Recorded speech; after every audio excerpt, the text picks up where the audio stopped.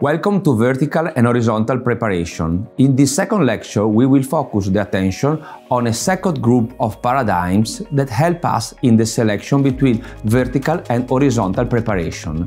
We will talk, indeed, about the patient. Very interesting to look at this case from the occlusal point of view, because if we look at this case from the occlusal point of view, we can definitely see that the, uh, uh, the tooth was buccally position to begin with. That's why most probably the phenotype and the biotype of this tooth was extremely uh, thin, and there was a good a, a, good, a bad discoloration of the root because of the transparency through the thin tissue. What we did, we basically, we thickened the tissue.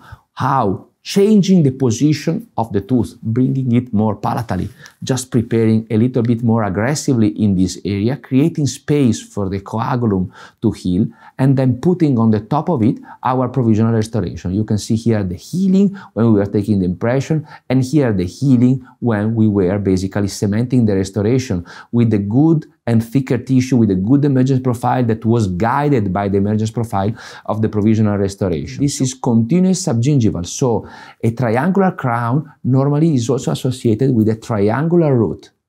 A more square crown is associated with a more square root. So basically, when I prepare a tooth that has a thin tissue, normally I check in the x-ray and I find out that the root is more triangular. So we might have a much better benefit with the subgingival, subgingival vertical preparation in a thin biotype because they have a triangular root shape.